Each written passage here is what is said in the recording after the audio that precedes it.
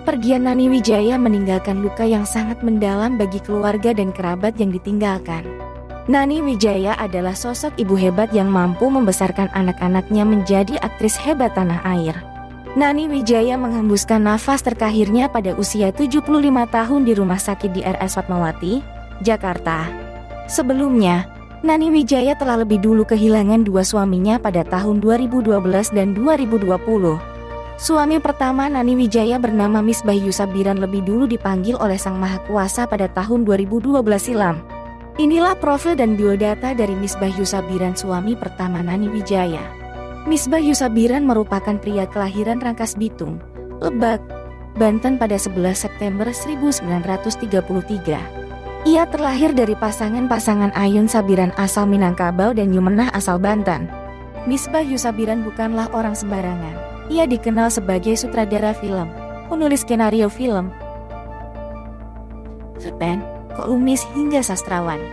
Tak hanya itu, Miss Bayu Sabiran juga menjadi pelopor dokumentasi film Indonesia.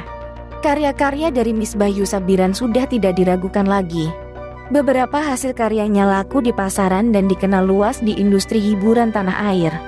Bahkan Miss Bayu Sabiran telah menerima beberapa penghargaan bergengsi, Salah satunya yaitu ia menerima hadiah seni dari pemerintah RI.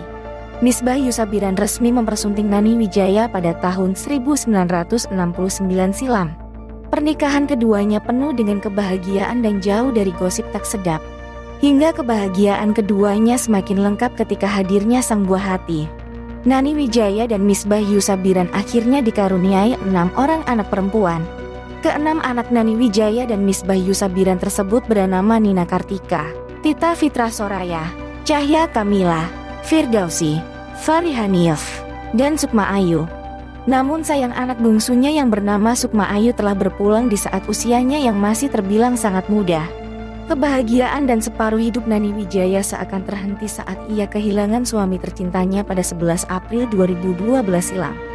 Saat itulah Nani Wijaya akhirnya hidup bersama dengan anak-anaknya. Usai menjanda cukup lama, Nani Wijaya memutuskan untuk kembali menikah di usianya yang telah memasuki 27 tahun.